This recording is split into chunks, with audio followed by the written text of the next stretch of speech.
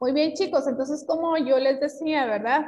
Eh, las tareas que van a quedar son las siguientes. En el, lo estoy diciendo de una vez porque eh, después de eso vamos a hacer entonces la eliminatoria para ciencias naturales, ¿sí? Entonces, la tarea número uno es la fecha de entrega el día de mañana, viernes 9 de junio. El tema, los alimentos transgénicos. ¿Qué es lo que tiene que hacer? Investigar y realizar lo indicado en cada enunciado. El primer enunciado dice que usted tiene que escribir la definición de lo que son alimentos transgénicos. Por favor, recuérdense que hemos estado trabajando de esta manera. Usted investiga en internet o en libros y trata la manera de, de leerlo varias veces y de ahí con sus propias palabras escribir la definición, ¿sí? Importante, tener un diccionario de sinónimos o un diccionario normal por si hay alguna palabra que no sé qué significa, ¿sí? Ok. Ahora, el segundo enunciado dice cinco ejemplos de, de alimentos transgénicos. Les comentaba que uno de los alimentos que ya está siendo modificado es el maíz. Ahí hay un ejemplo ya. Tercer enunciado, escriba dos riesgos que acarrean para la salud los alimentos transgénicos. Cuarto enunciado, copie cómo se fabrican los alimentos transgénicos. ¿Cómo lo van a copiar? Por favor, desactivamos el micrófono, gracias. Aquí ven, lo tenemos abajo, cómo se fabrican los transgénicos. No les decía, ¿verdad? Vean qué interesante. El primer paso es cortar el ADN de un organismo.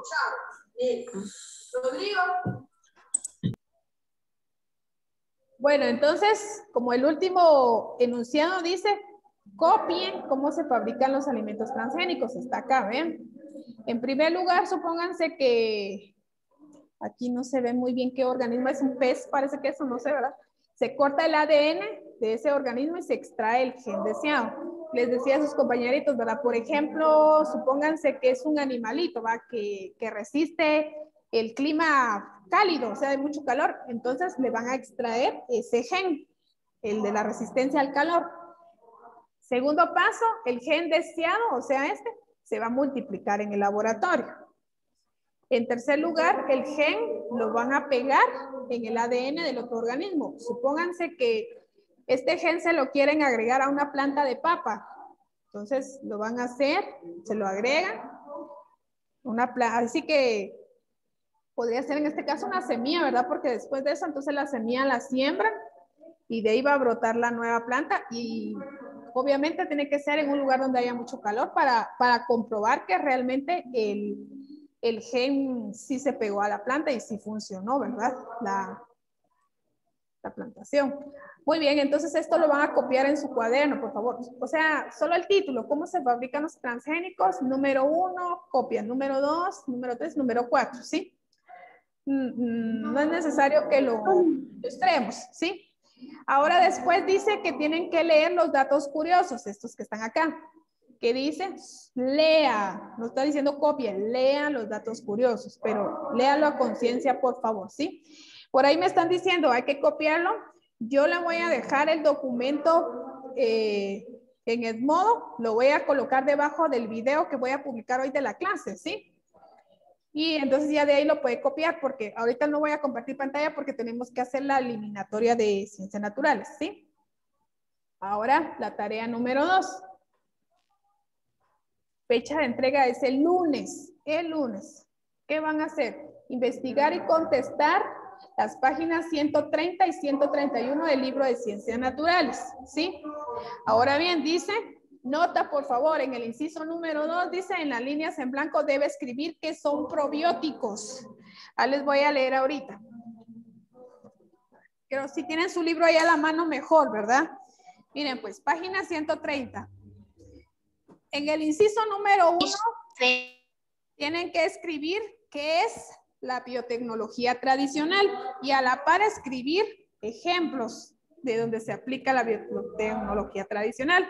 Ustedes pueden guiarse de lo que tienen en su libro en la página 128, 129 y del esquema que yo les di. Igual con la biotecnología moderna. En el inciso número 2, miren pues, en el inciso número 2, por favor, tienen que escribir qué son probióticos ¿Y qué alimentos? Pero lo voy a agregar aquí. Y dos alimentos que los contengan, ¿sí? Dos, dos ejemplos de alimentos que contengan probióticos, por favor. Después dice, tienen que contestar qué ventaja representa para el ser humano consumir este tipo de alimentos, o sea, alimentos con probióticos. ¿Qué ventaja? ¿Y por qué? Hay que explicar. En el inciso número 3, usted tiene que investigar. Dice, una razón podría ser por qué algunas empresas quieren que los alimentos que son transgénicos lleven una etiqueta donde diga que los alimentos son transgénicos. O sea, una razón por la cual, ¿por qué? Porque ellos quieren que, los, estos alimentos lleven la etiqueta de que son transgénicos. Y una razón por la cual otras empresas no quieren ponerle etiqueta a los alimentos transgénicos. ¿Por qué? ¿Sí? Por eso, mire, tiene tiempo todavía para poder investigar. Inciso 4 dice que, imagínense que ustedes son un científico, una científica, que pueden usar la ingeniería genética para crear un nuevo organismo. Entonces, ¿qué organismo o producto elegirías? ¿Qué problema solucionaría? O sea, tú tienes que decir, bueno, a ver, a mí se me ocurre, por ejemplo, a ver, ¿qué podría ser? Ahorita les digo. Miren, pues en el inciso 4, supónganse que ustedes dicen, por ejemplo, esto ya está, esto ya no se vale este ejemplo, ¿verdad? ¿Qué organismo o producto elegirías? Entonces yo coloco eh, un eh, tomates que, que no sé, que, que se, ¿cómo es? Tomates de gran tamaño y que no se descompongan fácilmente. Ese sería, ¿verdad? Entonces, sea la, dice que el, problema que va a solucionar aquí esto es, ¿verdad? Que, que entonces usted lo va a poder almacenar por más tiempo, ¿sí? El tomate. Y que también pues le va a abundar más, va por el tamaño, va a alcanzar para que coman más personas. Estoy poniendo el ejemplo, ¿sí? ¿Cómo contestaría la primera pregunta? ¿Qué organismo producto elegirías? el tomate que sea de, de, tamaño grande y que no, que se, y que no se descomponga eh, rápidamente, o que se descomponga, eh, ¿cómo se diría?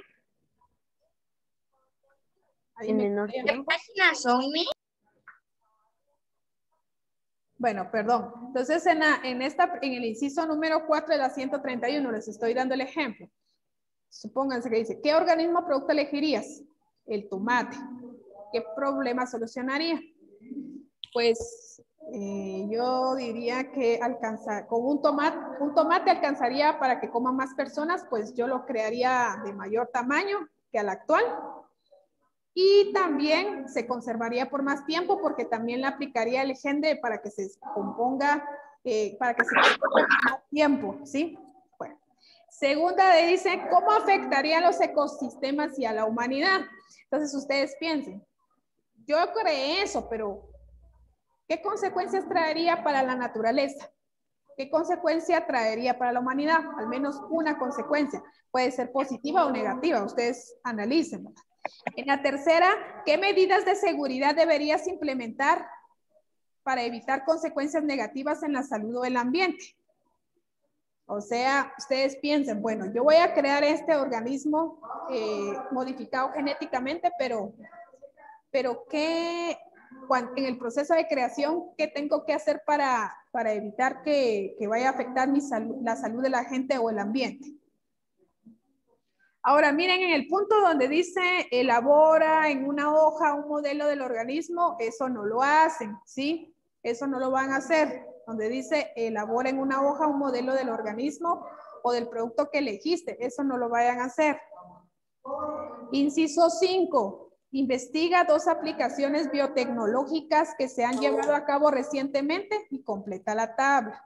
Entonces, en donde dice aplicación, ustedes escriban, supónganse, eh, tomates de mayor tamaño sería aplicación. Ahora, escriben donde dice ventajas, una ventaja que trajo esa, esa, esa, esa creación y una desventaja.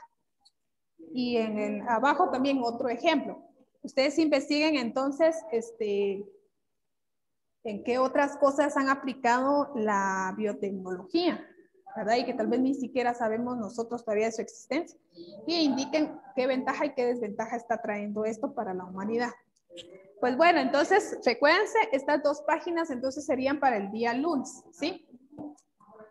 Y claro, pues tienen un valor estas páginas. Y de igual manera la actividad número uno también. Les repito, les voy a dejar el documento eh, debajo, publicado debajo del video de la clase de hoy.